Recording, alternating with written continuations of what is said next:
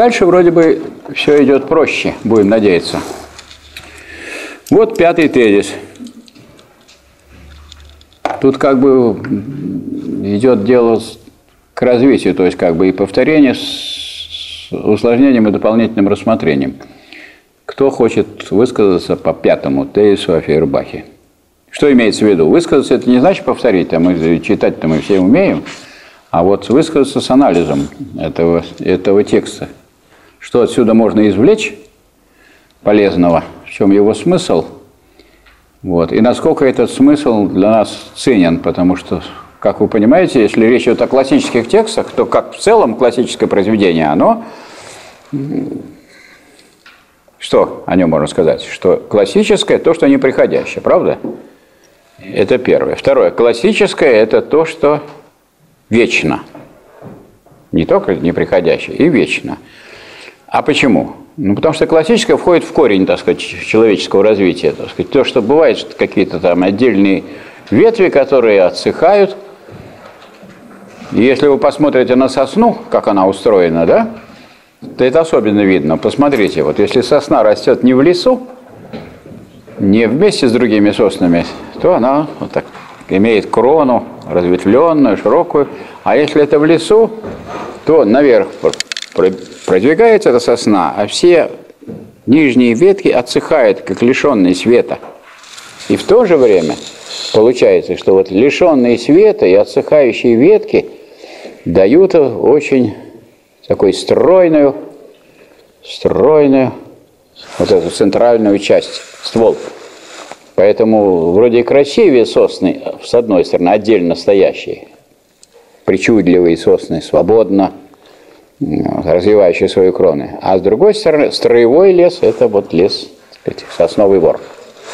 Вот. Так вот, э, если мы возьмем этот пример, то Классическим является то, что представляет собой, то, что в ствол вошло, это как бы вот классическое. А если отсыхает, то значит это вот было важно, нужно на каком-то этапе для движения вперед. И потом потеряло свое значение.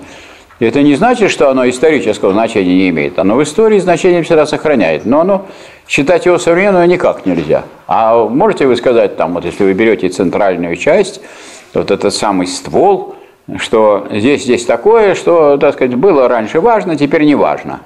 Такого нет. Там еще один круг прибавляется каждый год, да? И все. А кто был, кто был в музее, в нашем, хотел сказать, горный университет, так же теперь не говорят? Обязательно в ГОУ, ВПО, как ругают этот наш, кто у нас, университет у нас, в, в ГБО, Это ГБО государственная бюджетная организация, ВПО, Высшего профессионального образования, Санкт-Петербургский государственный университет. Так и там. Это какой-то теперь институт минералогический, не горный, минеральных ресурсов и еще чего-то такого я даже воспроизвести не могу. Там есть музей, и там есть окаменевшие деревья.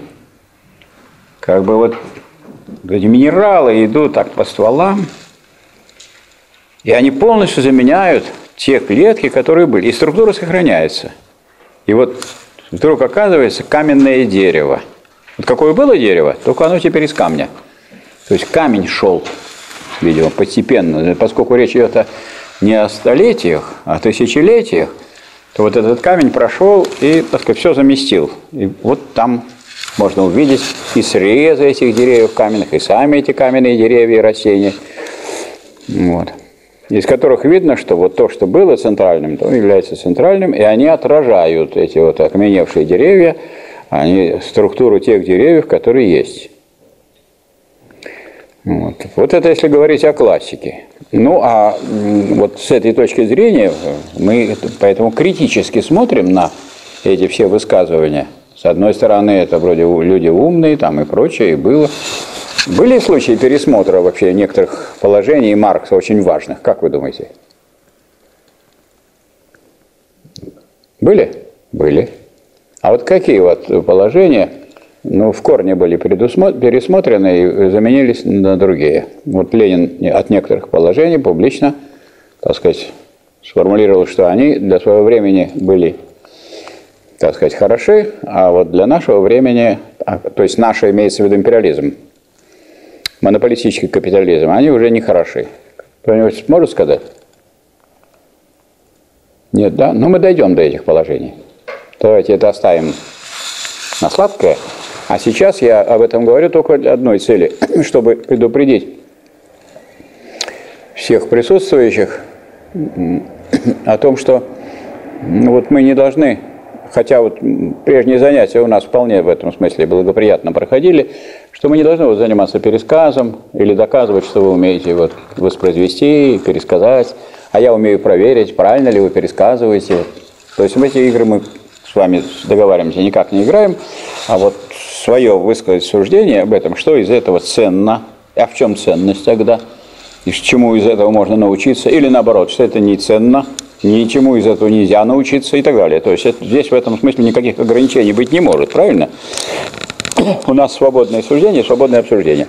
Ну вот пятый тезис, он маленький, а кто у нас самый, так сказать, понимает, что лучше сейчас выступить, пока мало, чем потом потребует, уже шестой гораздо длиннее. Кто хочет по пятому выступить? Вот вы хотите, да? Я понял, что вы хотите. А? Не понравился вам? Ну, может, вы как-то обосновите и скажете. Вот если я вам не понравился, скажете, прическа не та, там, или пиджак не такой, как что-то надо сказать. Вот нет у вас такого критического подхода, что мне он не понравился, потому... А? По такой причине, что я его толком а, не допоняла. То есть вы виноваты? То есть я виновата. О, о, как вы здорово, вот как вы здорово, мудро. Это, здорово. это хороший ход. Конем. Вот, допустим, вы в мой адрес можете тоже сказать, мне этот преподаватель не понравился, потому что я не поняла. И вроде бы как вы против меня, но как бы вы наоборот говорите, очень, наверное, очень хороший преподаватель. Ну, я человек такой, я вот не, не, недопонимаю это, вот, наверное, очень умно, наверное, очень полезно. Ну, намек такой, это вот очень хорошо, это рефлексивная форма такая, потому что нет, чтобы сказать, вот дурак какой-то пришел. Нет, сказать, я-то, ну, наверное, это очень важно, очень интересно, очень нужно. Но я-то темная, я ничего не понимаю. Вот, и прикинуться таким овечкой такой, и, так сказать, так, вроде и хорошо. Это очень правильно. Мне вот когда говорят, что у вас это какая-то глупость, я всегда говорю, а, конечно, откуда у меня? У меня одна извилина, у вас, наверное, три или пять, или семь, я не считал, я не знаю, но много. Я не уверен, что она очень извилистая. И вообще, что она есть. Поэтому, ну и получается, что вроде бы как это такая вот защитная позиция. Вы очень правильно. Мне очень нравится, что вы так защитились от моего вопроса. Это тоже вклад в науку. Да, спасибо. Так, перекидываемся на других. Из-за вас придется другим отвечать.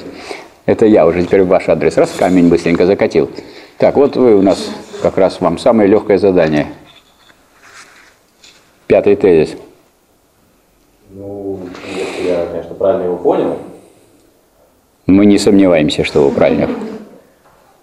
А, Марк говорит о том, что а, Фербак прежде всего понимает а, а, чувственное созерцание не как а, допустим, построение каких-то методов для чего-то, а именно ощущение само по себе.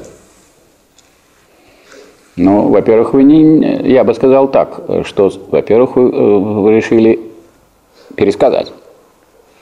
Во-вторых, при своем пересказе вы сделали подмену. Вы сказали, он понимает не как совокупность методов, потому что методы деятельности и деятельность – это разные понятия. Согласны? У меня очень много методов, но делать я не буду.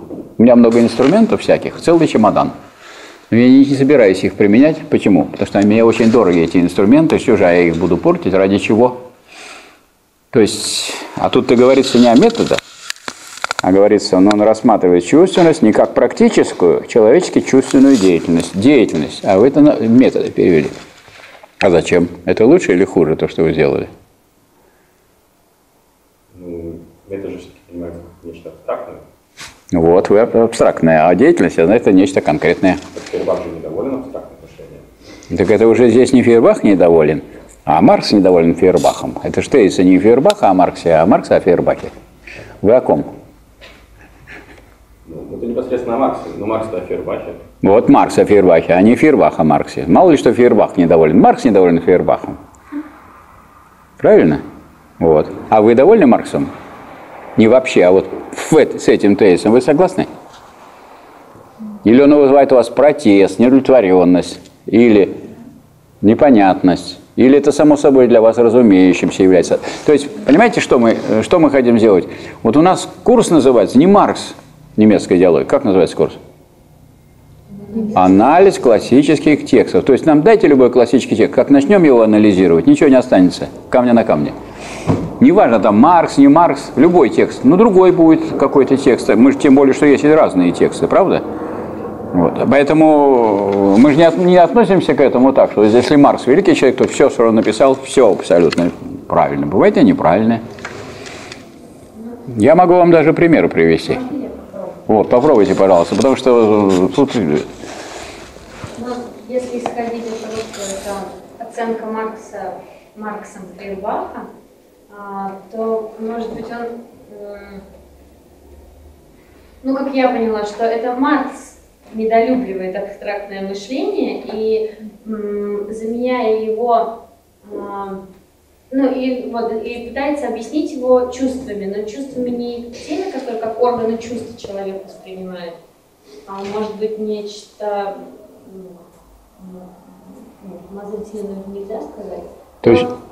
Чувство а, пытается объяснить это теми чувствами, которыми, точнее, чувствами, чувствами, но не теми, которые а, человек а, воспринимает органами чувств а какими мне разрешается к вам придираться? Конечно.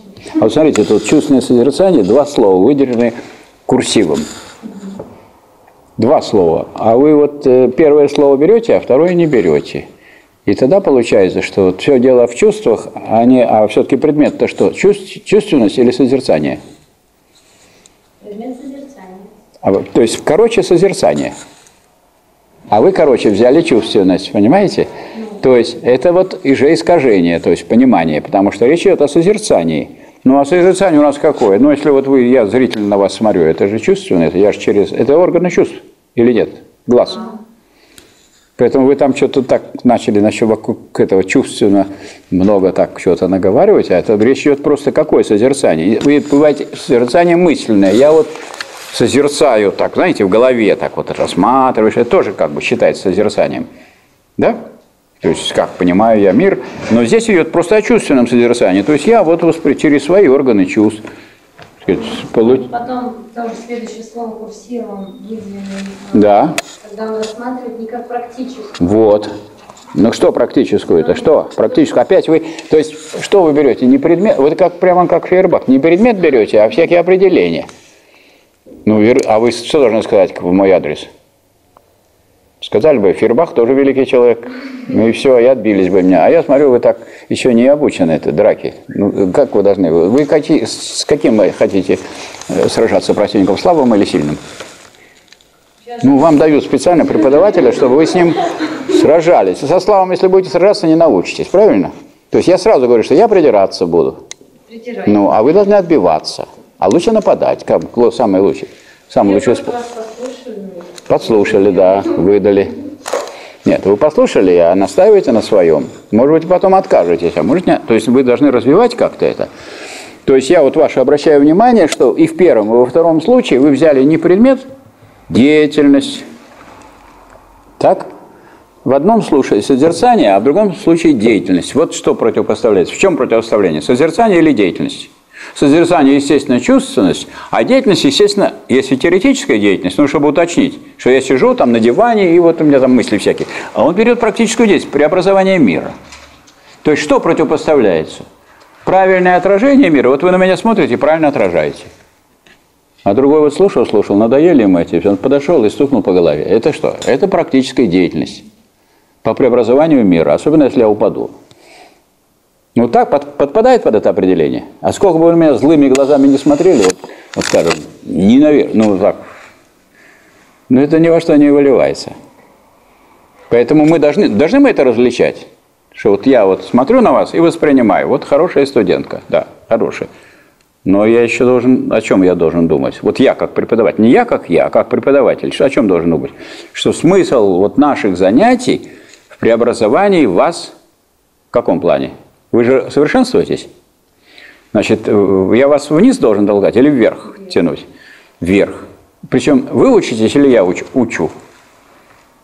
Я учусь. Вот. Это выше, чем я вот скажу, я учу. Это выше. Вы же сами. Если вы сами не учитесь, то это, это бесполезно. Эти все преподаватели, они не нужны. Ну, если ну, это ерунда. Никто не научит. То если человек учится, то он использует любую возможность. Если у нас есть, скажем, такие семинары, вот их придумали, потому что для меня это новое. Я, во-первых, не, я их не придумывал. Во-вторых, меня три года назад, так сказать, вызывает заведующий, говорит, так, мрачный такой сидит говорит, Михаил Васильевич, я говорю, что? Вот поступило распоряжение вот это, такой курс вести. Анализ классических текстов. Маркс немецкой идеологии. Как вы к этому относитесь? Я говорю, как отношусь? Отрицательно. Говорит, почему? Потому что нет такой работы. Нет такой работы, Маркс немецкой идеологии. Есть Маркс Энгельс немецкой идеологии. На это, говорит, детали. Вы отказываетесь такой курс читать? Я говорю, нет, не отказываюсь.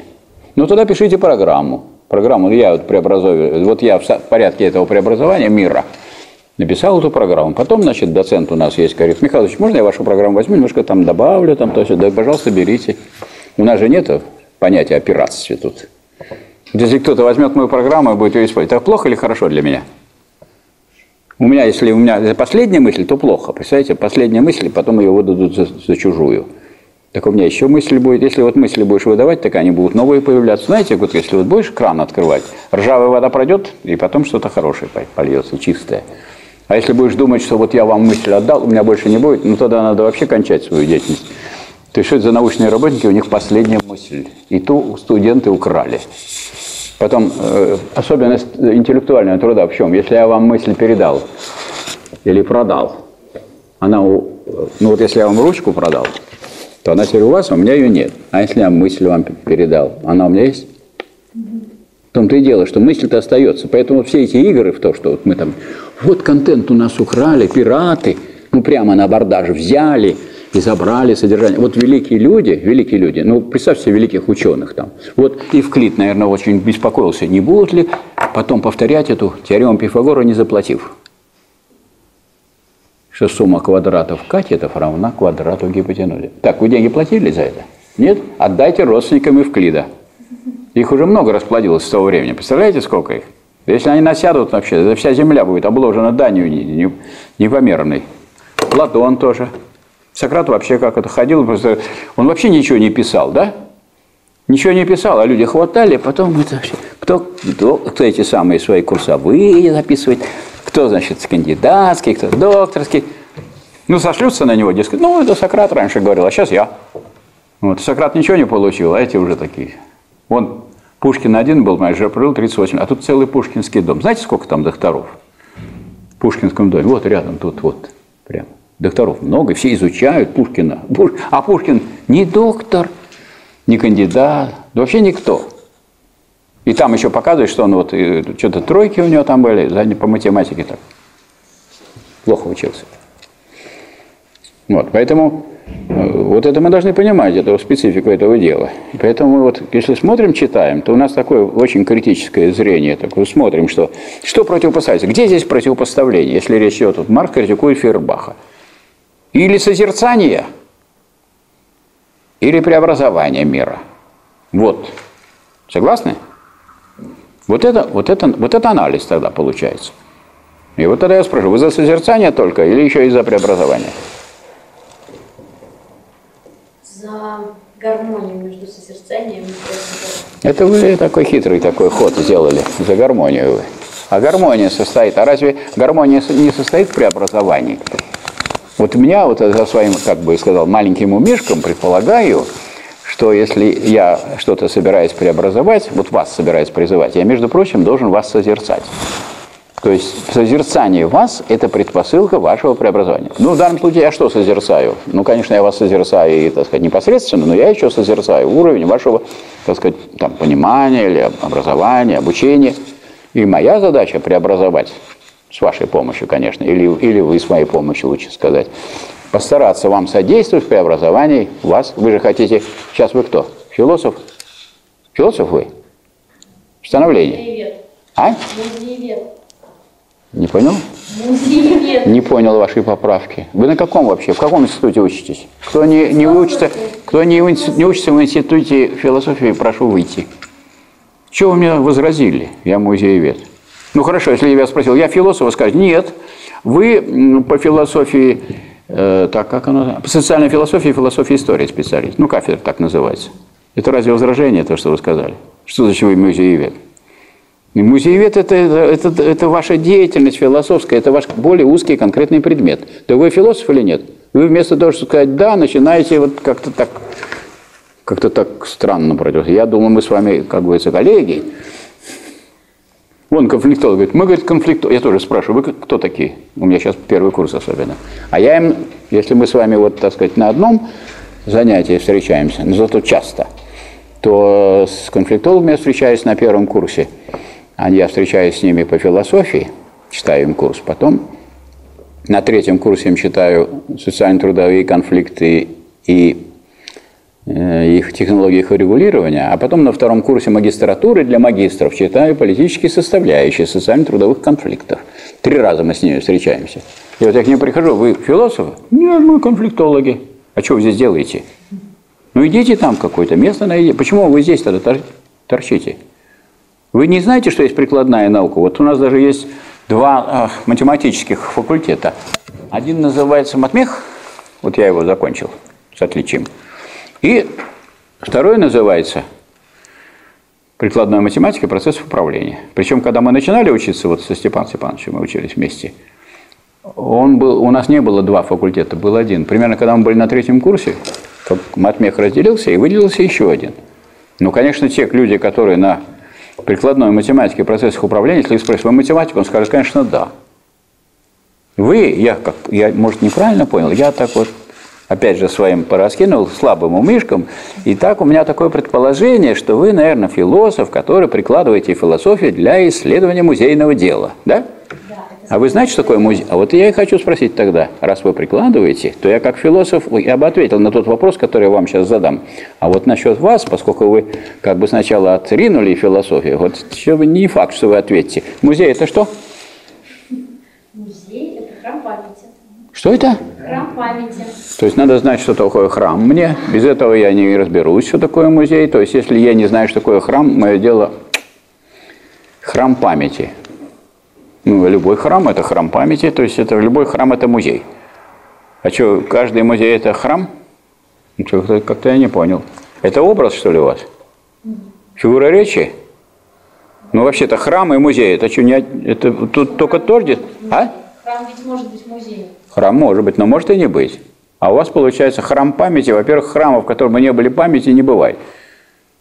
Ну, храмы все какую-то память там. Вот, по крайней мере, о Христе там память. Это, то есть храмов без памяти не бывает, беспамятных храмов.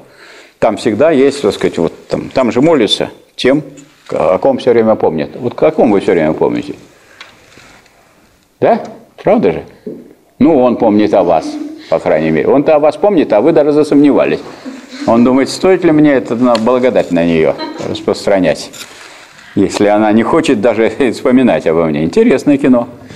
Вот, поэтому я бы сказал, что ваше определение неудовлетворительное. Я сейчас с вами соревнуюсь на ниве м, музеологии. Тем более я там занятия вел, у меня есть опыт тоже. Я уже спрашивал это, я уже знаю, чего отвечают товарищи, которые думают, что они не философы. Так, а вот я тебе сейчас скажу, что такое музей. Музей. Это такое общественное учреждение. Учреждение, не храм, а учреждение, которое, а, сохраняет историко-культурное наследие, б, изучает историко или исследует историко-культурное наследие, и в, пропагандирует историко-культурное наследие. Вот теперь вы мне попробуйте доказать, что вот под мое определение не подпадает музей. Можете доказать? Не можете. Возьмите мое определение, бесплатно даю. Почему? Потому что у меня все равно оно останется. Это я не обездоленный буду. Я вам его перед... вот бесплатно даю и все. Дарю. Вот. Но с одним условием. Бесплатно с одним условием. Что философию надо уважать. Почему? Потому что философию мы применяем для конкретных вещей. Вы как музеолог, вы прикладник. То у нас есть, скажем, люди, которые конфликтологией занимаются. У нас есть люди, которые занимаются там Еще целым рядом. На, по философии науки и техники видели, да? Тоже. Вон э, Шаповала, Влада Григорьевна, я перед, а передо мной читает. Я захожу, там она такое им рассказывает. И заслушаешься. Но она применяет за философию для вот этого дела. У нас много разных всяких видов в этой. Чего такого у нас нету на философском факультете. Культурология тоже. Приходишь к культурологам? Ну, и есть, собственно говоря. Тоже вопрос. А культура-то вы знаете, что такое культура? Нет? А, к вам не приставать, понял. Потому что вы уже ответили. Кто скажет, что такое культура? Тут же культурологи сидят, я правильно понимаю? Все. Нет? Есть не культурологи? Не все. А что? А, есть культурологи отдельно. Так, товарищи культурологи, надо честь культурологии защитить. Что такое культура? А? Можно вариант определения сказать? Давайте. А, а, результаты человеческой, совокупность результатов а, человеческой деятельности за всю историю, которая представляет какую-то ценность. О, ужас, ужас, какое определение. Представляете, сколько народа убито, сколько лесов загублено, сколько рек загажено, особенно там, где вот золотоискатели прошли. То есть, если посмотреть все результаты человеческой деятельности, можно только прийти в ужас. Причем только во Вторую мировую войну китайцев убито 32 миллиона. У нас в Советском Союзе погибли 27 миллионов. Так? И чего-то, и сколько вообще, так сказать, порушено городов и так далее. Это, говорит, культура, результаты деятельности. Это если Ленинград разбомбили, это результаты же человеческой деятельности. Это вы все в культуру засовываете. Молодой человек, вы что нам хотите подсунуть под видом культуры? Для вас все равно убийство, уничтожение, создание, творение. Вы все это свалили в кучу и, так сказать, прямую противоположность культуры свалили тоже в культуру. Ну, я, я на вас нападаю, я честно говорю. А? Я сказал, ценность. Ну, есть люди, для которых это представляет ценность. Вот ваша рубашка представляет ценность для тех, у кого ее нет. И на выходе, возможно, у вас ее заберут. Придут трое человек, скажут, молодой человек, вам жарко. И вы поймете, что лучше эту рубашку им отдать. Знаете, как вот зайчиком кого называют? Вот есть люди, у которых есть сигнализация на автомобиле, он и стоит, они около дома. И вот подходит там банда, человек 8. И этот автомобильчик-то тюк, он сразу и вот этот одевается, собирается, выходит. Он говорит, о, голова этой банды, говорит, зайчик пришел. А мы уже думали консервным ножиком открывать. Да зачем портить хорошую машину? Давай ключики принес, принес. Молодец. Давай ключики-то давай. И он отдает же. Восемь человек вооруженных.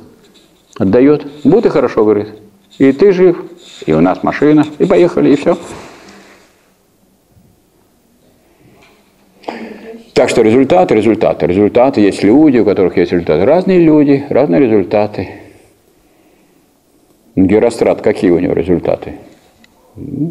Чем больше разрушено, тем лучше. Так что все имеют результаты. То есть все же результаты бывают позитивные. Так, можно я дам определение культуры? А вы давали, А что, товарищ? Он, товарищ, не ходил. Я уже давал, а вы вот не знаете. Все уже обогащены, а вы еще объединены. Ну, раз вы знаете, скажите товарищу.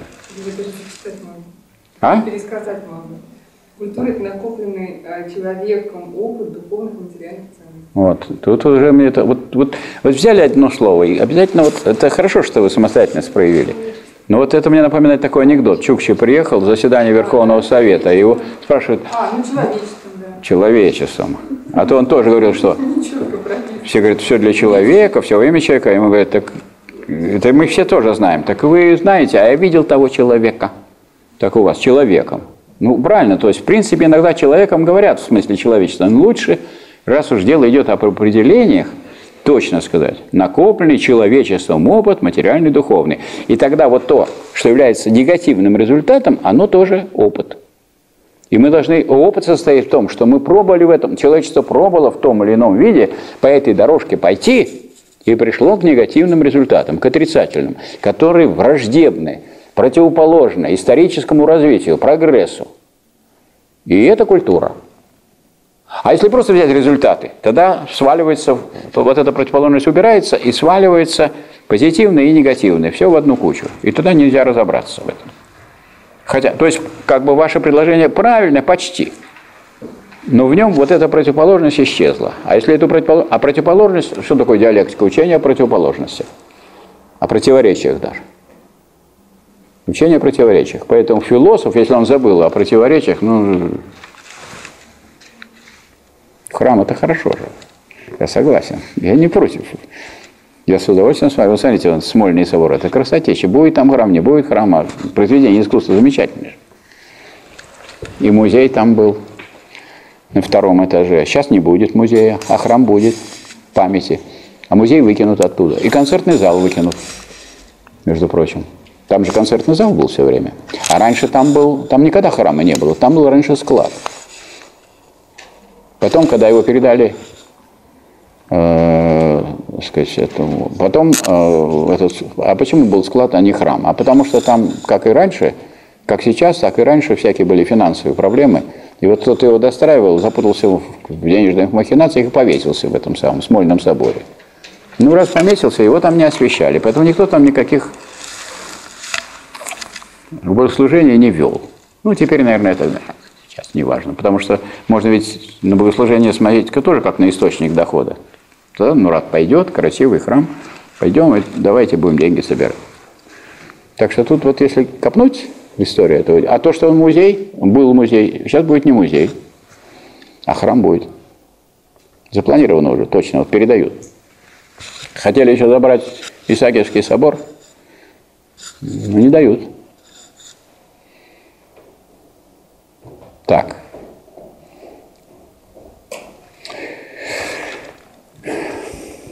Кто нам в итоге подведет по пятому этому тезису и пойдем дальше. Значит,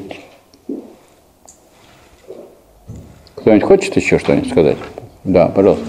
Просто как, если мы говорим об итогах, то мне кажется, что пятый тезис, э, в нем Маркс и Энгельс обвиняют Фейербаха в бездействии, в э, нежелании, ну как, отсутствие стремления переделывать мир и делать его, улучшать его практически. Ваше выступление правильное, но не истинное. Знаете почему? Потому что в области науки, вот вы что-то сделали, а я потом дальше вас пошел еще что-то сделал. Означает ли это, что я вас обвиняю в том, что вы этого не сделали? Примерно так. Я, вы испекли пирог и дали мне этот кусок хороший. Я съел, говорю, дайте еще. А мне не дают. А, такая сякая, значит, жадного, жадная, не дала еще. Но если человек что-то сделал. Фейербах продвинул человечество вперед? Продвинул? Как можно его за это обвинять? Вот это поход исторический в чем? Что история должна, она всегда оценивать людей не потому, что вы не сделали. Вот я сейчас скажу, вы это не выучили, того не выучили, это не понимаете, то не понимаете. Это правильный подход? Неправильно. Да вы никогда не, никогда не будет такого, чтобы вы все понимали. А вы меня нач... Вы сейчас, если начнете меня обвинять, я тоже буду ну, со всех сторон обвиняемый, потому что я, конечно, больше не знаю, чем знаю. Правильно? Уж, по крайней мере, в других областях, которые не относятся к области, которую я как, как ученый изучаю, конечно, там я не знаю. Я там не берусь выступать авторитетом, по крайней мере.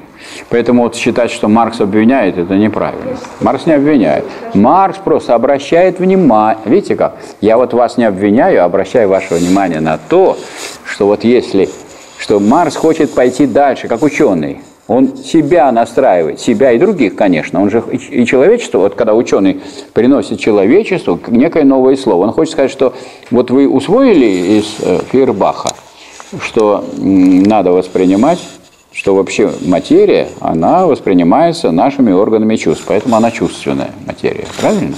Воспринимается, что он, вот созерцать ее можно, потому что агностики говорят, что понять, познать нельзя.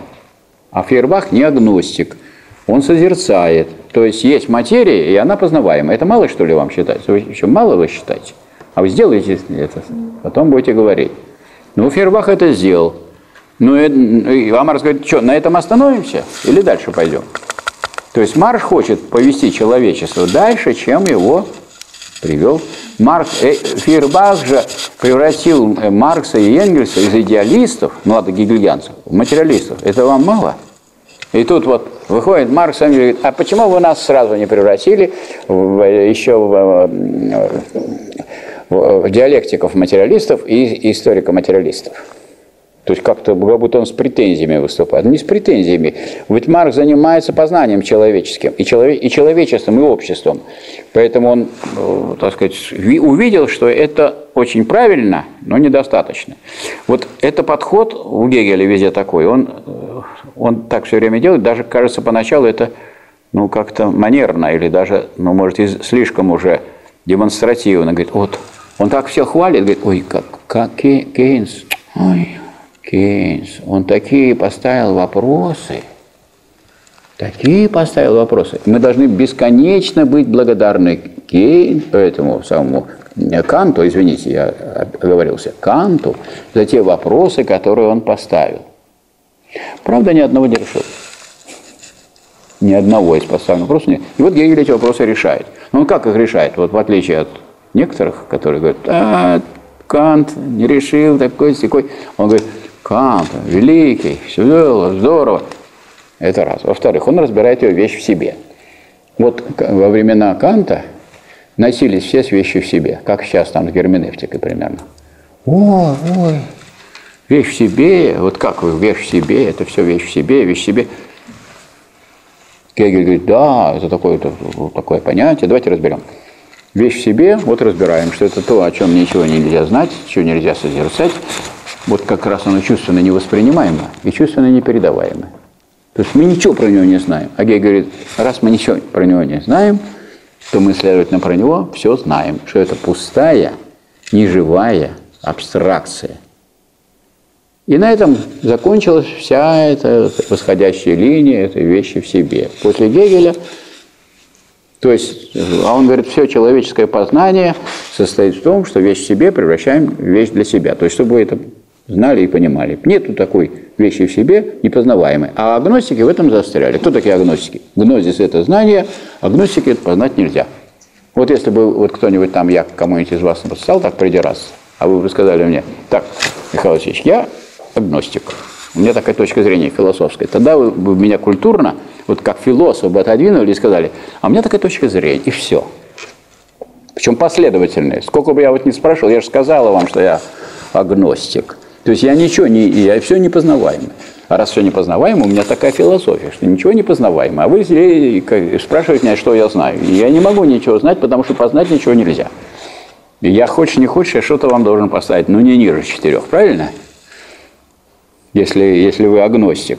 А вы так не признаете, что вы агностик, а вдруг э, выступаете так вот с резких позиций, тут я на вас сразу и нападаю.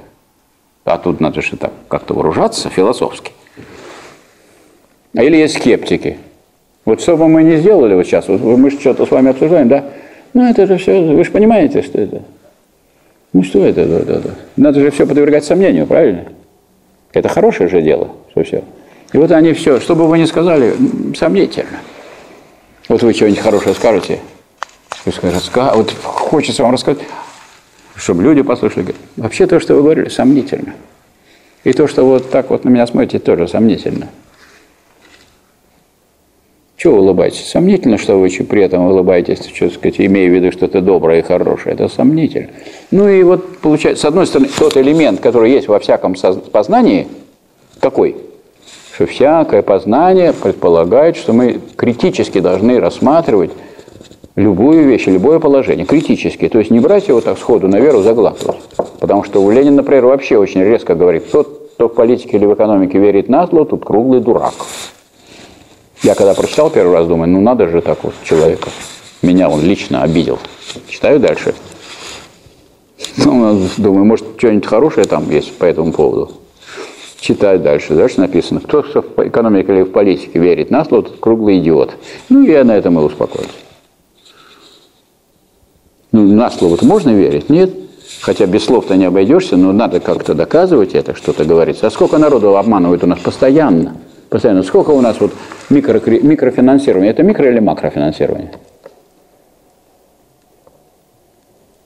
Называется микрофинансирование. На самом деле это микрофинансирование или макрофинансирование? Вы в курсе дела, какая там годовой, э, годовая ставка процента вот по микрофинансированию? Когда говорят, до зарплаты Давайте паспорт, прямо, сейчас, сразу деньги даю. Это вас, вам помогает или вас дурят? Дурят. Дурят. Какой, какая ставка годовая? Сколько процентов?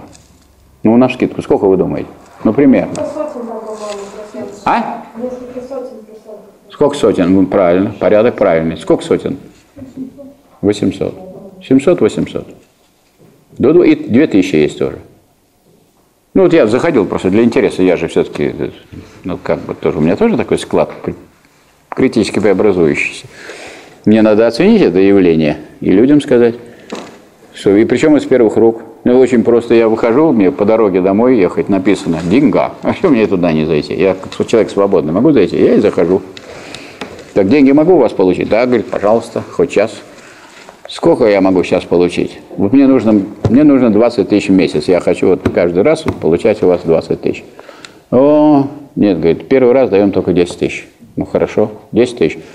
Сколько отдать надо в конце месяца? В конце месяца надо отдать. Ну, сколько? 20? Ну, отлично, говорю, хорошо. А потом, после того, как я отдам второй месяц, второй месяц можете уже 20 тысяч получить. То есть я как бы уже свой. Уже меня навьючили, и я свой. Хорошо, говорю, 20 тысяч беру, сколько я должен отдать через месяц? 30. И так каждый месяц говорит, приходите, нет проблем, приходите, и говорит, мы вас будем финансировать. Так кто кого финансирует? Кто кого финансирует? Причем, если 800, это микрофинансирование, это макрофинансирование. Потому что банк, ну хорошо, он 27 может с вас содрать. Ну 27. Ну, чтобы 700. Ну это же наглецы. Это государство смотрит, это грабеж, это допускает.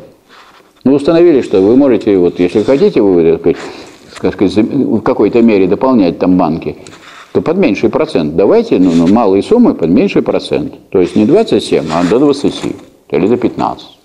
Или мало, что ли, 10% будут получать? Они же ничего не делают. Паразиты на нашей шкуре. 10% с того, что они дают. Это же ростовщики которые жируют за счет бедных людей. Причем бедных, которые зарплату даже не дожить. Они им так. Ну вот это самый страшный случай, который был в Ульяновске.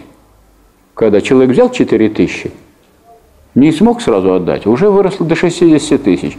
А потом ему раз эту коктейль молотую прямо на ребенка двухлетнего попал. Дедушку. Дедушку хотели заставить заплатить. И тот э, в больнице лежит, так сказать, изуродованный, обожженный. Коллекторы это называется. Знаете, есть библиотечные коллекторы, а есть другие коллекторы. Не отдадите, мы вас, про вас напишем, что вы злодей, все обклеим. А то, что у нас девочка выпрыгнула с десятого этажа, когда ей позвонили и сказали, что мы вашу квартиру забираем, потому что вы не можете отдать. Немысленным образом живая осталась, конечно, изуродованная, с десятого этажа. И написала записку – Сказали, вот мне позвонили коллекторы и сказали, что у нас квартиру забирают. Девочка волновалась и выпрыгнула из окна. Это микро или макро? А написано микро. Вот прямо они вам помогают. Это что, мы за чистую монету должны? Это вот мы должны вглубь идти, вещь в себе, якобы. Так надо продвигаться в глубину. И что это по сути, а не на поверхности, правильно? Мы, потому что на поверхности, мало ли что на поверхности. Если я на вас умными глазами смотрю, о чем это говорит? Может, это говорит о том, что я дурак. Но если я умными глазами, особо умными такими смотрю, такими умными-умными. Или кто такой мошенник, кто не знает? Вот вы определение, знаете мошенника? В музее вы так не очень. А вот мошенника хоть знаете, потому что вдруг я мошенник по вашему определению, а я и не знаю. И вы меня раскроете как раз. То, что меня еще не разоблачили вот на предыдущие занятия, но должен наступить такой момент. Мошенник – это кто? Как вы будете бороться с мошенниками? Как-то затрудняетесь. Он же сразу их хватать. Я в музее буду работать, я не буду бороться Вот они так вас и музейщиков-то и ловят, эти мошенники. Вот тех, которые так, вот они. Да. Ну, кто-нибудь знает такого мошенника? Вот вы знаете, что такое мошенник? Вы собираете, всю, всю, всю кучу собираете? Мошенники кто? Ну, те, кто занимается этой деятельностью под видом, ну, они э, на первый взгляд занимаются легальным, а, ну, основная часть их. А если копнуть поглубже и там поставить законами, и вот, вот их деятельность развернуть со всех сторон, прикопаться, то окажется, что они... Да, совершенно правильно. Вот, хорошо, да, очень хорошо. То есть это вот те люди, которые отрицательную деятельность выдают за, позитивные. Вот. А в Уголовном кодексе это вот очень просто записано. Мошенничество, злоупотребление доверием. То есть, допустим, вот я пришел, прикинулся профессором, там, вашим преподавателем, у меня ведь не, паспорта не проверяли, да? И начал тут вот всякую сумятицу вносить, все.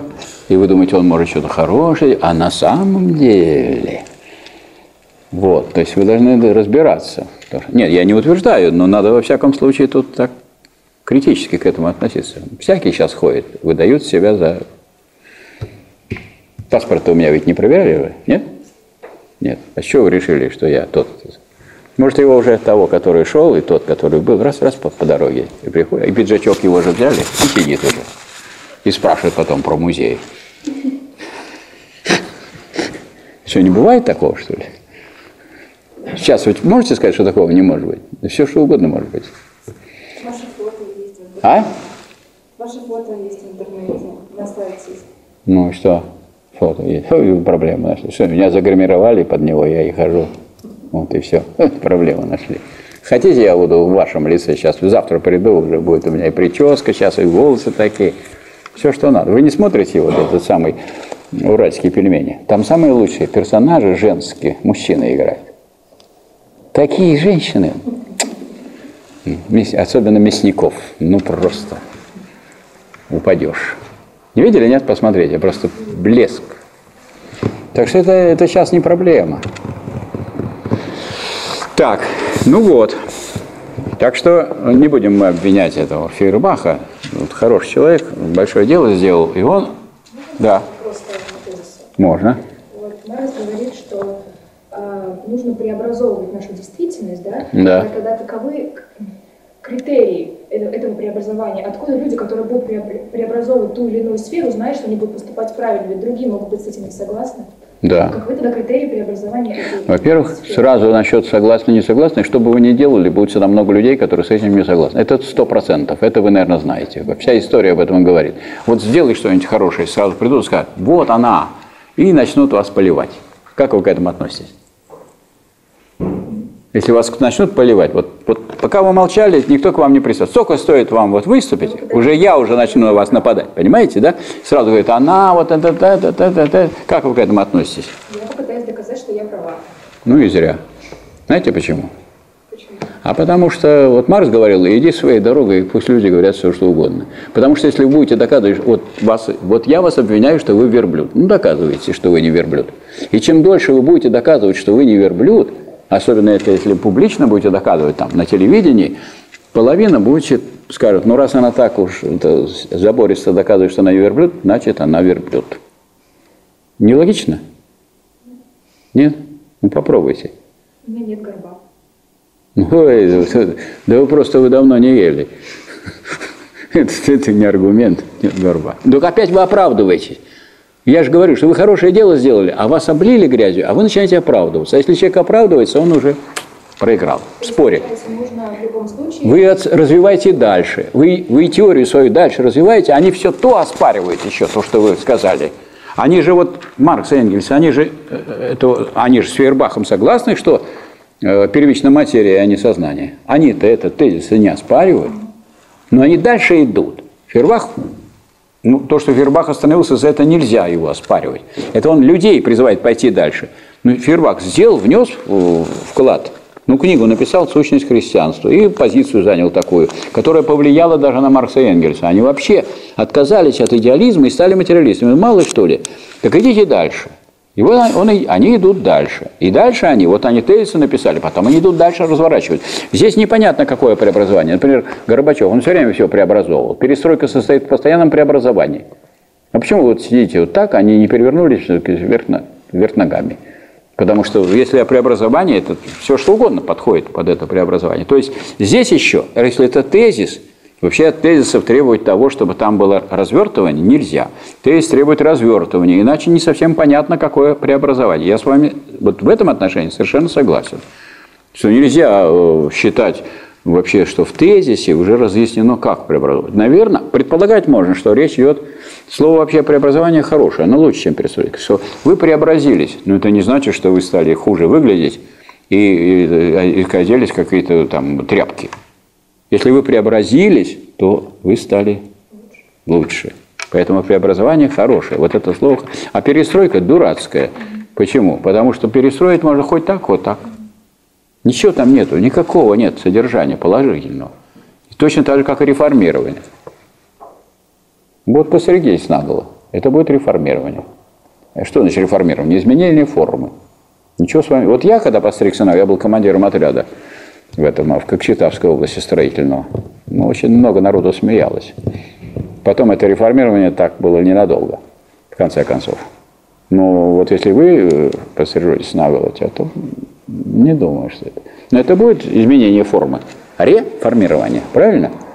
И вот при Ельцине говорит, вот мы перестройку закончили вроде, вот это пустое изменение, бессодержательное, или на самом деле отрицательное. Чтобы скрыть отрицательное, все мошенники как делают? Давайте изменим, не говоря о том, как изменить. Поэтому, когда вот там у Маркса в первых тезисах говорил просто об изменении мира, это недостаточно явно. А вот преобразование уже, это шаг уже вперед. А если реформирование при Ельцине? Мы, говорит, у нас курс реформ. Это что такое? Курс корабля какой? Плыть. А куда плыть? А это вообще это никто это не обсуждает. Давайте, говорит, изменим форму. Зачем? А содержание не будем менять? А зачем тогда форму? А что, форма и содержание, они, они в единстве находятся? Нас учили, что философы, что содержание оформлено, а форма содержательна. Вот гармония формы и содержания, это, это вот требование к прекрасному, верно? А вы говорите, вас реформируем. А почему, говорит, вас надо реформировать? Ну, потому что вы как, не такая были какой-то. А почему вот такое требование, чтобы вы были не такая? Чем бы вам не понравилось? Давайте Венеру э, реформируем. У него руки отбить, давайте ноги отобьем еще. Это же будет изменение? Преобразование будет мира в области культуры и в музее ее. Вот, говорит, она, Венера, фотография, она была до этого реформирования, вот после реформирования. Так. Так что, то есть Фербаха мы не обвиняем, а продолжаем дальше развивать. Так, теперь, значит, я с вами согласен, что мы э, тут в тезисе это еще не досказано, но намечено. А тезис вообще именно намечает преобразование мира. Вот. Хотя вот в этом тезисе вот преобразование это здесь не особенно и звучит. Здесь просто человеческая чувственную деятельность и все. А какую? Да, это требует добавления и развития. Поэтому вот это, на этом тезисе все не кончается, и идет следующий тезис. И вообще из, из всех тезисов должно быть понимание, куда преобразовывать-то. Как преобразовывать? Для человека. Да. Если только для вашего, одного человека, для меня, вам тоже интересно, как все будет преобразовано для меня. Но не очень интересно, что только для меня. Вот даже э, есть противоположные требования анархистов и социалистов. У Сталина есть такая работа в первом томе «Анархизм и социализм». Анархисты говорят, все для личности, тогда будет и свободная масса. Сталин пишет, а мы говорим, все для массы, тогда будет и свободна каждая личность. Противоположность. Противоположность.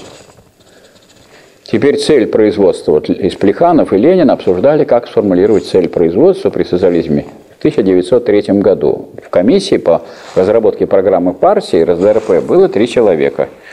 Ленин, Плеханов и Мартов. Лучше расставить так. Плеханов, Ленин и Мартов. Почему? Потому что Плеханов представил сначала проект программы, он основатель русского марксизма, представил проект программы. Если вы откроете шестой том «Полное собрание сочинений», вы можете увидеть там интересные вещи. Как, например, Ленин с Плехановым спорил, и он за ним поспорил по поводу цели социалистического производства. Вот Плеханов написал, при социализме будет производство для удовлетворения нужд общества. Ленин пишет, недостаточно. Такую еще организацию, еще и тресты могут дать. Ну, то, что сейчас нам рассказывают, что на Западе и то есть, и то есть, и в, и в России, и без всякого социализма все-таки люди не убирают. Ну, не то, что не все. В конце, конечном итоге все умрут, но сказать, есть э, система снабжения, есть так сказать, торговля и так далее. Допустим, если у вас раньше была очередь, поднимите цены, очередь не будет. Еще поднимите цены, даже подходить не будут. И тогда магазины некоторые превратятся в музей. То есть вы как туда заходите посмотреть. Я однажды своему товарищу из Нижнего Новгорода хотел подарить э, на день рождения эту, дипломат. И вот захожу я на Невском. Это была моя ошибка, что я на Невский пошел. О, и смотрю, как раз хороший дипломат. Я говорю, сколько? Он говорит, ну, 20 тысяч. Думаю, да, но надо подумать мне, это многовато для меня. Он говорит, 20 тысяч долларов. А, говорит, доллар? Да, хороший. И этот, оттуда хороший. То есть магазин, музей-то легко же превратить. И вот вы знаете, как заходишь в такой магазин, они на тебя все кидаются и говорят, что вам подсказать? Что, что вам посмотреть? Да я, говорю, сам посмотрю. Нет, ну давайте вам подскажем. Это ужас. Они там нечего делать, им они сидят целыми днями. И вот я заявился.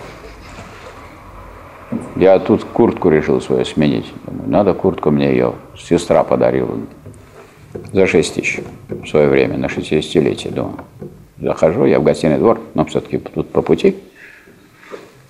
Ну, хуже, конечно, чем у меня куртка, но где-то такая примерно. Ну, говорю, сколько?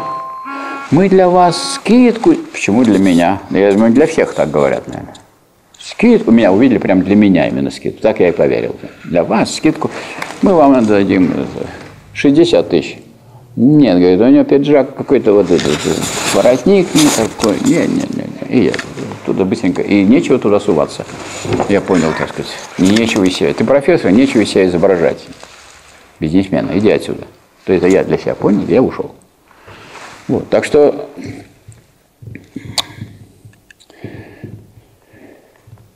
так что мы вот на э, вот все эти вещи, ну, смотрим таких вот широких позиций. А поэтому нужд э, общества, ну, это и капитализм может дать, тресты могут дать, пишет Ленин.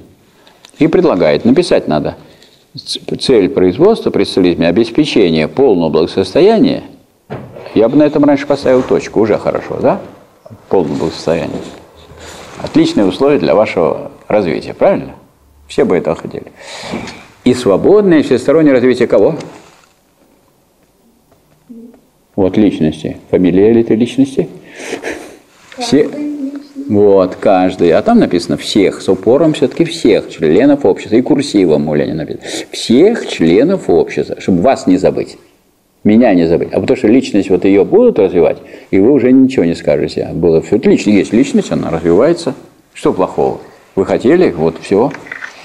Значит, Плеханов с этим согласился. А дальше пошло, Плеханов написал «Диктатура пролетариата» там, в проекте программы. Ленин пишет, а зачем это? Ну, Ленин иногда изображает, что он вот такой был, прям твердо там стоял, ничего не менял. Так. Он говорит, а зачем эта диктатура пролетариата? Хватит нам руководящей роли рабочего класса. А Плеханов был большой ученый. Взял и выкинул из программы. А Ленин был дотошный человек. Он вообще у нас был на занятиях, он бы так просто не воспринял. Так он начал бы разбираться, что там такое, там они пишут. И он за это время, значит, видимо, почитал там Маркса, Энгельса, вроде как вот позанимался тем, чем мы с вами занимаемся. И вот Плеханов выкинул его. Ну, кто-то против, я взял, взял и выкинул. Это первый раз появилось в программе социал-демократической партии «Диктатура пролетариата», про которую Маркс и Энгельс писали, что это вот, значит, это вот в нашем, так сказать, произведении это самое главное. И даже когда Маркс отвечал в письме Вейдемейеру на то, что он сделал, он говорил, я сделал три вещи. Что вот вся история есть история классовой борьбы, хотя классы открыл не я. Это сделали французские буржуазные историки, а анатомию классов показали экономисты английские. Так, а второе, что это диктатура пролетариата ведет, это классовая борьба ведет диктатура пролетариата, и третье, что диктатура пролетариата, она ведет к обществу без класса, коммунизм. Все, вот все, что я сделал, три вещи. И вот выкинул это, это Плеханов. Ну, раз вы против, там, один человек, ну и бог с ним, молодой, он же уже все-таки в летах. И вот Ленин пишет, к второму проекту программы Плеханова. А здесь же, помнится, был такой тезис о диктатуре пролетариата в прошлом варианте. Вот Энгельс в критике Эрфуртской программы и Маркс в критике Готской программы сугубо на это указывали. Ну, Плеханов был большой ученый, он взял и обратно его туда. Раз эту диктатуру, и все. И РСДРП стала первой и единственной сначала партией, которая была, так сказать, включила в программу диктатуры пролетариата, а потом на первом, на одном из конгрессов Коминтерна был принят, когда все предали социал-демократические партии, кроме большевиков, все предали рабочее движение в связи с мировой войной, потому что надо было проголосовать против кредитов, а для этого надо пойти на каторгу. Вот вы, если депутаты, и голосуете против военных кредитов в военное время, что с вами надо сделать? Ну, надо бы застрелить вас, ну, как мы гуманисты вас, на каторгу только. Значит, на каторгу кто пошел? Карл Липниц, один проголосовал в Рейхстаге. Ну, на свою там, недалеко, у них нет далекой каторги. А у нас, так сказать, все вот наши депутаты, которые были в Государственной Думе, большевики, рабочие, все туда ушли. И все. И вот этот тезис, так сказать, он стал таким поворотным, этим тезисом, вокруг, по, которому потом отличали, кто марксист, кто не марксист. Если вы не признаете диктатуру пролетариата, но это вот это мало известно, потому что, скажем, люди э, редко читают подлинники, они читают всякие изложения, а в изложениях все это сглажено. А у Ленина очень резкие высказывания, что вот, тот, кто не понимает, что, что должна быть либо диктатура буржуазии, либо диктатура пролетариата, тот либо не, безнадежный идиот, либо политически настолько безграмотен, что его не только на трибуну, его на собрание пускать стыдно. Вот Никита Сергеевич Хрущев подпадает под это определение, точно. Он же как раз исполнилось вот 60 лет, как он выступал с докладом о последствиях культа личности – на 20-м э, съезде. А в 1961 году уже выкинули диктатуру пролетариата, главную в марксизме, и начался переходный период от капитализма к... От, простите, от коммунизма к капитализму, вот, о котором люки далекие от коммунизма, они сожалеют, скажем, вот, дескать, Советский Союз был великое государство. Между прочим, экономика была в два раза выше. В России была, только в российской части в два раза выше, чем чем в 90-м году. А в СССР было все-таки 300 миллионов человек, а не 146. И мы по, количеству населения были как Соединенные Штаты Америки. Поэтому очень многие понимают. И, и, и нас вот так не обкладывали, как сейчас обкладывают со всех сторон. Сегодня в российской газете два портрета Сталина, как они беседуют с Рузвельтом на первой полосе и дальше еще. И они, так сказать, Рузвельт этого отшил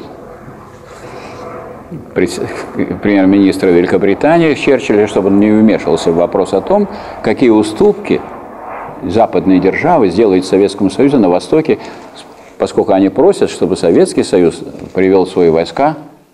Сталин согласился на 6 месяцев, потом на 3 месяца после капитуляции Германии. И вы знаете, что эта миллионная квантунская армия была разгромлена там в течение месяца вся. Расчленена и, так сказать, ликвидирована миллионная армия. Ну, а дальше подарили уже китайским коммунистам оружие, не вести же его назад. И они победили. Революция в Китае победила. Ну, японское вооружение тоже передали китайским коммунистам. Поэтому Чан Каши как с ними не боролся, не победили. Вот такие, получаются, интересные вещи. То есть, хотя это на уровне вот таких формулировок, то есть, вот если это речь идет о классических текстах, надо решить, это вообще-то серьезная вещь, которой надо всю жизнь придерживаться, или это какая-то вот пустячок, там что-то сказали. То есть, вы только за то, чтобы созерцать, или будем преобразовывать нашу действительность в интересах всех членов общества? Или всех, кроме вас? Вот. А тут же это именно всех, да? Вот тогда вот, если отвечать на вопросы о преобразовании, то что вот все будет преобразовано, только жаль только жить в эту пору прекрасную, уж не придется ни мне, ни тебе. Помните, как Некрасов говорил? Нам такое, вам нравится такое преобразование, когда все будет хорошо, только нас не будет? Не очень нравится. Я -то чувствую, вам нравится, но не так прямо, не вдохновляет.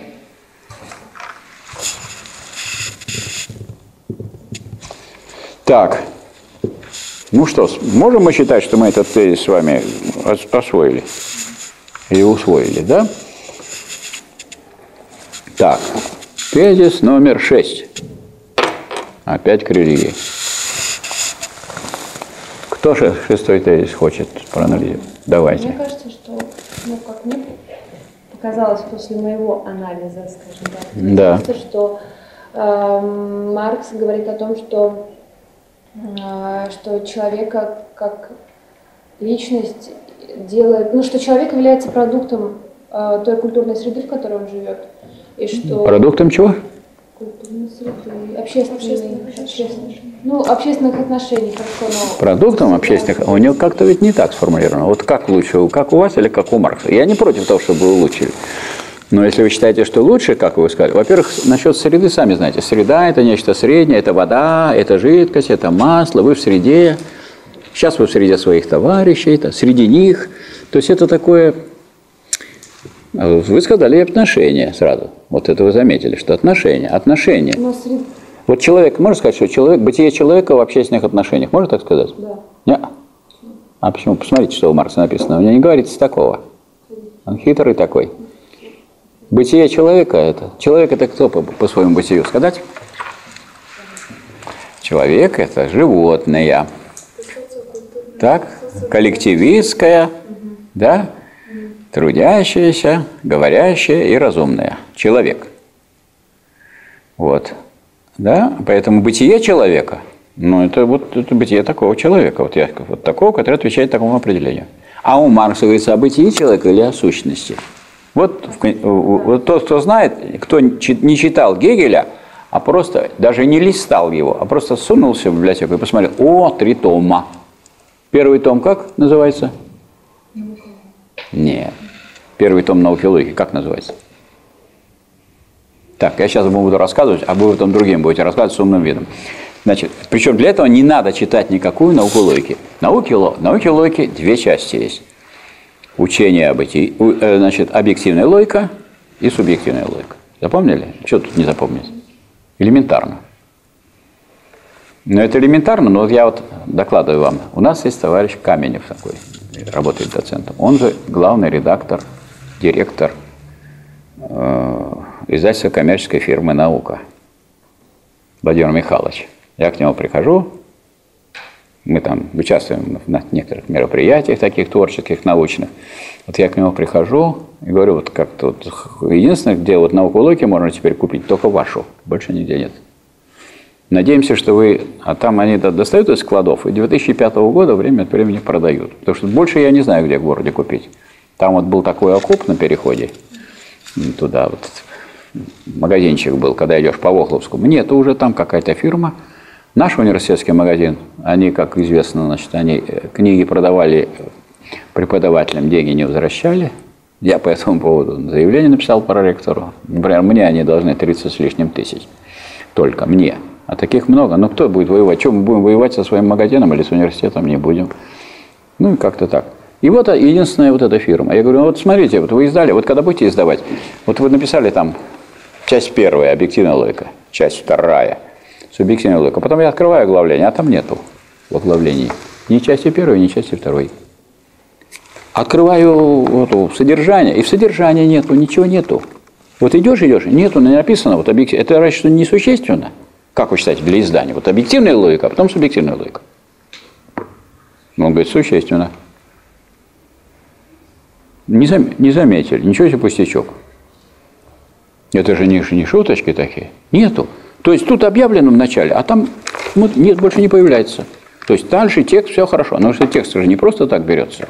Причем Гегель издал вот эту часть первую. У нас, когда издавали сочинение Гегеля в 1937 году, науку логика, пятый том, объективная логика, шестой том, субъективная логика. Кто держал эти два тома в руках? Держал. Я, не, вот я, я специально не говорю о чтении. Это вот у нас сейчас это музейные, культурные ценности, все так. Мы смотрим так. Когда-нибудь почитаем. И первая часть состоит из двух томов. Учение о бытии и учение о сущности. А вот посмотрите там, о чем речь идет в этом томе. О бытии или о сущности? Это же другой том. Другой том. Вот я смотрю на вас. Вот что я при этом вижу? Ну, бытие, вот вижу, вот бытие ваше. Или вы на меня. А, а сущность вашу великую, благородную, это надо же еще докопаться до нее.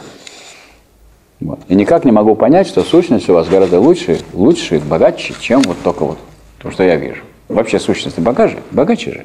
Сущность – это когда я должен вот первое впечатление, это как бы подвергнуть отрицанию и углубиться в содержание. А вот я, например, заметил, что вот другие молчат, вы уже третий раз выступаете. То есть вы это серьезно занимаетесь.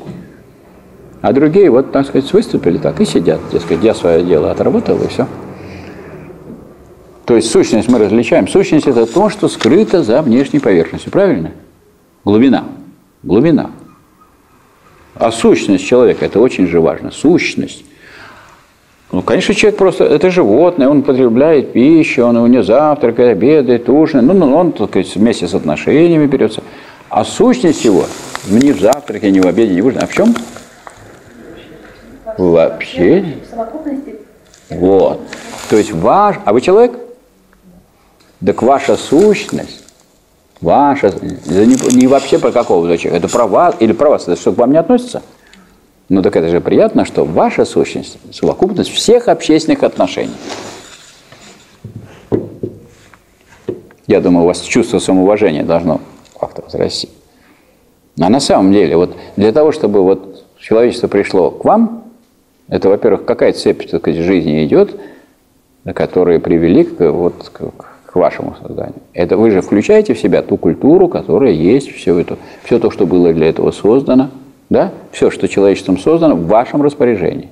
Но насколько вы вся впитаете, это уже другой вопрос. Но сущность-то ваша, сущность. Может, вам не удастся, так сказать, впитать то, что можно впитать. Или в полной мере. Но сущность, человек по сущности, это он совокупность всех общественных отношений. И не должен сводиться к тому, что я человек маленький, я ничего не знаю, ничего не умею. Вот у вас что требуется? Вот если вы стремитесь развиваться, выходить за свой предел или остаться в этих пределах ограниченным человеком – а что значит выходить за свой предел? Осваивать то, что человечеством создано, ну то осваивать это еще отражать мир, да? А тут еще требуется, смотри, тезис пятый, преобразовывать его, то есть двигаться от низшего к высшему, от простого к сложному. Вот, это богатство. То есть, э, я к чему-то придрался или прицепился к формулировке, что это не просто там среда Среда – это не глубокое философское понятие, а сущность, сущность ваша. А по сущности, вот, говорит, у него склочный характер. Так, допустим, склочный характер. А вот по сущности он хороший человек или плохой? По сущности очень хороший. Ну, если очень хороший, их черт с ним, с его характером. Ну, правильно? А сколько бы таких людей бывает? Вот они начинают, как-то не так себя ведут, а все, вот даже великие люди, тоже себя как-то ведут неправильно. Вот Маркс и Энгельс взяли, пошли, напились, разбили урну. Факт жизни. Ничего будем. Вот есть такой способ борьбы. Дескать, раз они, значит, они обычные люди. А обычные люди, значит, топтать их, они гениальные в, в эту в грязь, ну и, так сказать, и расправиться тем самым, с, не читая с теми, что они делали. Мы уже выяснили с вами, что-нибудь хорошее сделаешь, обязательно вас обольют грязью. Ну. Я к вам обращаюсь, потому что меня-то все время обливают грязью. Вот вы увидели меня по телевизору, там вы комментарии-то читаете, какой я плохой. Я никогда на них не отвечу. Я согласен. Как мне не согласен? Я-то знаю, так сказать, философские приемы, что самый лучший способ – иди своей дорогой дальше. Если меня критикуют, ну, лучше проводи занятия, там, лучше сам занимайся. Вот вы анализируете, я, думаете, не анализирую. Мне что, повредит, если я еще один раз почитаю умные произведения вместе с вами? Мне не повредит, мне только в пользу такие занятия. Ну, конечно, если мы просто излагали, то это мне совершенно неинтересно, и вам не интересно. А мы тут пытаемся тут докопа, докопаться до сущности. Да, вот мы докопались, что суть, это вот самый главный тезис, что сущность человека в общественных отношениях. Это почти никто не знает. Вот вы можете проверить, начать спрашивать, почти никто так не скажет. Это ведь не секрет, это написано. Даже это знают, можно сказать, что даже это известно. А кто будет заниматься, как говорил Гегель, тем, что и так известно? Чего изучать, если так это всем известно? Не надо это изучать. И никто и не изучает. А вот вы изучаете, а это вот схватить вот это, вот от нас требуется, вот схватить какой-то из, этой, из этого тезиса изумруд, а не просто, что там где-то что-то сказали. Вот немножко переделаешь, и уже получилось не то. Так, то есть эм, Фейербах сводит религиозную сущность человеческой сущности. Это критика Фейербаха или изложение Фейербаха? Изложение. Хорошее изложение, правильно? Очень кратко сказано, что Фейербах – это великий шаг, так сказать, свести религиозную сущность к человеческой сущности. Очень хорошо. А теперь встает тогда следующий вопрос. А в чем человеческая сущность? В чем сущность человека? Не среда, а в чем сущность человека? И вот пишет Маркс и Энгельс. Но сущность человека, нет, здесь Маркс пишет, никакой не Энгельс, тут не Энгельса нет, это тезис о Фейербахе. Но сущность человека, хотя Энгельс тоже так же считает, не есть абстракт, присущий отдельному индивиду. То есть я буду, если копаться в вас и сущность, сколько бы я ни копался, если я буду вас рассматривать как отдельного индивида, отдельного от общества, я сущность вашу не определю. Потому что она не есть абстракт, присущий общественному делу. Нет у меня своей особой сущности, а есть у нас с вами такое понятие, как человеческая сущность. Вот человеческое есть что-то у вас человеческое? Вот если у вас что-то человеческое есть, это ваша сущность. А то, что у вас не человеческое, это ваша не сущность, а это относится к вашей природной природе, к тому, что вы, ну, я про вас не буду говорить, но я-то, я-то животное, я-то должен сознавать это дело. Поэтому если вы мне будете разбирать там кости, печенку, селезенку, это вы в сущности моей разбираетесь или нет? Вот, это природа, это бытие, это бытие. А сущность-то у нас. Поэтому сущность человека нельзя понять, не обращаясь к тому. Это значит так, как вот я должен вас изучать? Вот я вас собрался изучить. Во-первых, я вас изучаю саму по себе. Раз. Потом, значит, поскольку я не могу брать значит, как э, вашу сущность, как абстракт, присущий отдельному индивиду. То есть я теперь должен посмотреть, как на вас люди повлияли или влияют другие, те в течение вашей жизни – у вас жизнь уже длительная довольно. Даже человек, которому, человек, которому три года уже длительная жизнь, он все разговаривает, понимает, обращается, свои эмоции и так далее. Как на него повлияли другие? И как он повлияет, как он, это, это второе, как, как, как э, другие люди влияют на вас, общество. Общество – это же люди другие, правда? общественные отношения, как нам следует. И второе, как вы влияете на других людей? Вы же не просто так вот, какая-то вот плывете по течению, вы же влияете на все. Вы же тоже преобразующую деятельность. Или потом вы будете осуществлять, или сейчас тоже вы преобразовываете. Вот когда вы выступаете, вы что, на меня не влияете? Влияем. Влияете, конечно. Даже сейчас вот мы сидим, и вы на меня влияете. То есть в зависимости от того, как, что вы скажете, я тогда выступаю. Вот товарищ, он, вот как я вот оценил его первое выступление, как неудачное, но второе это выступление очень удачное. Я считаю, что я в какой-то мере на него повлиял, а он тоже на меня повлиял. Мне стало так хорошо, когда он так второе сказал. То есть видно, что человек способный. Это вот если я вижу, что человек способный и толковый, и среагировал, так сказать, на эту критику не так, что вот, дескать, вот меня покритиковали, я и обиделся бы. Это правильно? Неправильно. А он значит, очень, очень четко использовал эту формулировку. Это, это очень приятно. И это, конечно, то есть это относится к сущности человека, к общественной сущности человека. То есть человека, если вы хотите понять человека, вы должны понять его взаимоотношения с остальными людьми. Ну как эти, эти отношения поймешь, если не понимаешь общество? Надо общество изучать. То, которое есть, не то, которого нет.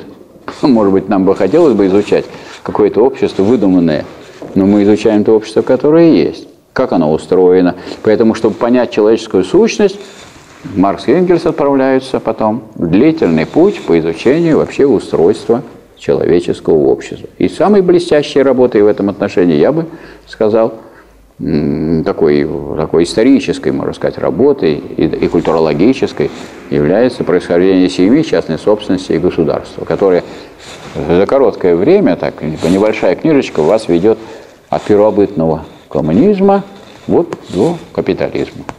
А капитализм и сейчас есть, так что она взяла все эпохи, которые являются современными. В этом смысле это большое богатство. Так. В своей действительности она есть совокупность всех общественных отношений. Вот. У Гегеля есть понятие в учении о сущности. Э, рефлексия, раз – когда он рассматривает рефлексию, он рассматривает тождество, различия, противоречия. Потом он рассматривает существование. Мы это путаем с бытием, или мы считаем, что это одно и то же просто? Вы вот есть, или вы только или существуете? Или и то, и другое? А? Вы есть и существуете. Но когда вы говорите «существуете», вы что-то привносите к тому, что вы только есть? Ну, потому что то, что есть, тут нечего обсуждать. Вы есть и все. И отстаньте от меня. Правильно? Я есть. Все. А вот если существую, это что значит? Ну. А судя по тому, что написано у Гегеля, существование предполагает, что вы не просто есть, а вы удваиваетесь. Есть основанное, и ос- у вас есть основание и основанное. Что у вас какая-то есть глубина, и эта вот глубина проявляется у вас уже в ваших поступках, в ваших действиях. Когда вы будете преобразовывать, есть какое-то у вас вот глубинное, которое проявляется в ваших поверхностных действиях. То есть это обязательно не просто есть, а есть с основанием и с условиями. А что такое условия, знаете? Вот если не, вот выкачать воздух из этой аудитории, будет у нас занятие проходить? Не будет. Будут условия для того. А потому что даже звук не распространяется, если нет воздуха. Правильно? И все. Ну ничего, мы будем в противогазах и по телефонам разговаривать. Конференцию сделаем. То есть э, условия еще. А условия – это сущность, данная как бытие. Как бы то, что... И вот когда все условия созданы для чего-нибудь, вот для того, чтобы вы стали тем, к чему вы стремитесь, да, таким человеком, которым вы хотите стать, ну, должны быть созданы все условия. И вот вы создаете одно за другим условия. Надо это сдавать, то сдавать, это прочитать, это изучить, это проанализировать, это написать, то написать, выпускную работу написать. И вдруг раз, и что написано у Гегеля, вот там просто гениальные такие есть фразы в науке логики. Учение о сущности. В учении о сущности, там, где раздел существования. Когда для какой-нибудь сути дела созданы все условия, она вступает в существование. То есть вы делали вот это, это, это, это, это. Некоторые думают, ну что, я все равно же не сделал. Не стану там крупный, хороший, там это, это, потому что все это рутина. И вдруг раз, а так устроен мир, что вот кроме количественных изменений, это безразличные границы, есть скачки и скачок. И вы стали специалистом. Вот вы стали специалистом-музеологом. Причем хорошим специалистом, если вы не забыли, что вы философ. По сущности, по сущности. Ну, вы применяете это для... Ну, уж, наверное, вы знаете это. Я, например, не музеолог как бы, но я знаю, что такое музей. У меня уже такая история, я хочу сказать, что вот прихожу к историкам, та же самая история. Что такое историк? Что изучаете? Не скажут. Пятый курс, не скажут. Ну, что вы изучаете? Как вы думаете, что изучают историки? А? История. Это тавтология. Историк изучает историю. А? Изменение, нет, изменение, измен- сейчас, изменение а, человеческой цивилизации во времени. Изменение человеческой цивилизации во времени. Ну вот они близко к тому, что вы сказали. Вот одна девочка говорит, мы изучаем то, чего, э, изучаем то, что было. Правильно? Да, это было же. Я говорю, понял. Ну, я-то все-таки как сейчас, я себя чувствую как философ, тем более я у них преподаю. Мне это надо хоть какую-то пользу от философии сказать. Какая-то польза есть от нашей науки или нет? Мне же надо как-то свой авторитет тоже поделать. Это не будут же ходить. Чем мы сейчас? Что я буду с пистолетом стоять, что ли, и загонять на лекции? Они он приходит толпой. Я говорю, так, значит, вы изучали то, что было, да? То есть вы изучаете то, чего нет. Так? Ну, нет этого уже. Вот даже в вашем определении нет этого уже. Я так, не- нет, я так не сказала. Вы так не сказали, но я-то так вывернул. То, что вы сказали. В связи с тем, что я такой вот все так просто, вот так. Вот думаете, вы просто скажете, я так и промолчу? Раз вы сказали так, что можно так вывернуть, я и вывернул. Вы так говорите, чтобы вы говорите так, чтобы такие люди, как я, не могли вывернуть. Вы имеете в виду, что такие... Мне кажется, люди, которые хотят вывернуть, они вывернут на людей. Напрасно вы. Не надо им облегчать жизнь, надо им затруднять жизнь этим людям. И вы боритесь с ними, Я боритесь. сказала во времени, я же не говорила. Сказали, сказали, во времени, и все равно в прошлом у вас всё получилось. равно основываясь на прошлом, мы же делаем Сейчас, прогнозы на будущее. сейчас я вам сформулирую, что я им ответил, а вы меня покритикуйте тогда, если вам покажется, что я неправильно ответил. Я им говорю, так, вот вы сейчас закончите свой, я на пятом курсе вот, философов прошел, на пятом, я у них философию и историю читал. Вот. А э, говорю, пойдете в фирму, скажет, вот приходите и говорите, я вот специалист, я знаю, то, я пять лет изучал то, чего нет. Берете меня? Те говорят, нет, не берем, нам такие люди не нужны. Так, можно я вам скажу, что такое история? Я вот вам уже сказал, что такое музей. Сказал. Бесплатно. Бес- бесплатно. И вот я им говорю, хотите, я вам скажу. Вот они берут ручку, я им говорю, ну, записывайте. Историк, история, наука история изучает современность как результат предшествующего развития человечества. Видите, я близко к вам, вот близко к вам. Согласитесь, что я ваш союзник. Союзник я. Но я прямо вот в лоб сказал, что современность изучает. То есть, короче, изучает современность. Правильно? Короче. Если уж брать короче, предмет, но современность изучает, но с корнями. Не такую современность, которую выдернули неизвестно откуда, как она появилась, без культуры, без всего этого хода, развития общественного и так далее. А с этими корнями, как результат предшествующего развития человечества. Записывать, все, все понятно. Понятно, и они после этого уважают. Вы же должны себя как философа зарекомендовать, что вы пришли, вы как философ, музеолог, вы же не просто музейный работник, там крыса какая-нибудь, которая сидит, она там перебирает там, эти вещи. Вы не, вы не крыса, вы, истор, вы изучаете вообще историк, историко-культурное наследие всего мира. Вот на этих вот экспонатах. Вы их исследуете и пропагандируете. Поэтому вас надо уважать, любить. Но если не хотите любить, но уважать обязаны. Правильно себя поставить. А если не поставите, зарплату платить не будут большой.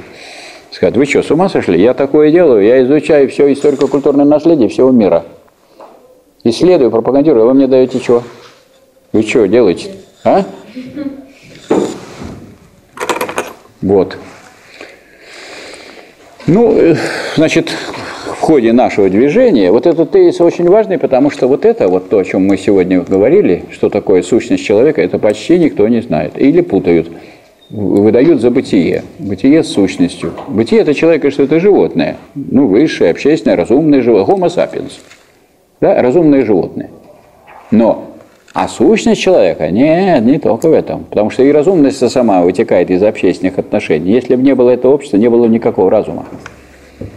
Сущность человека в общественных отношениях. Вот.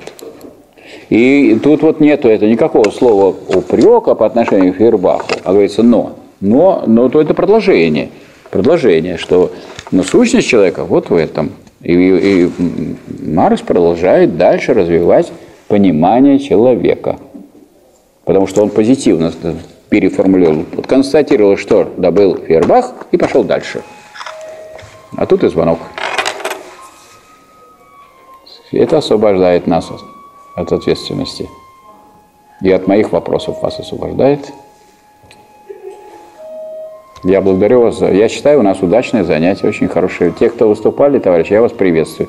Тех, кто не выступали, я тоже вас приветствую и призываю использовать наши занятия для своего развития, потому что мы за развитие всех членов общества. Тот человек, который выступает, не важно, что на него нападают, это, а он тогда привыкает к тому, как действовать в условиях нападения. Вы как хотите тренироваться, что на вас никто в обществе не будет нападать? Я-то вас понарошке нападаю на вас, а на вас-то будут нападать по-настоящему. Правильно? Я у вас союзник или сторонник или противник? Ну, я думаю, тут противников разные, у нас общие интересы. Меня оценивают по тому, как я научу, а вас оценивают по тому, как вы научились. Это одно и то же. Поэтому вот давайте, я очень призываю, товарищи, надо воспользоваться этой возможностью. А нам предоставлен за гигантский в этом смысле. Курс замечательный. Нас никто не гонит. Мы разбираем. Как только мы быстрее будем разбирать, мы дальше пойдем, быстрее пойдем. Вот. Но мы не, не количественными мерками, дескать, вот вы ответьте. Ну, ответьте, ну давайте разберемся. И это важно. Вот мы разобрали же, что такое вот культура. Чего плохого? Хорошо. Спасибо вам большое. Успехов. До следующей встречи. У нас скоро с вами встреча через, через день. Ну, мы просто с вами, прямо как вот говорят, надо чаще встречаться. Мы встречаемся все время.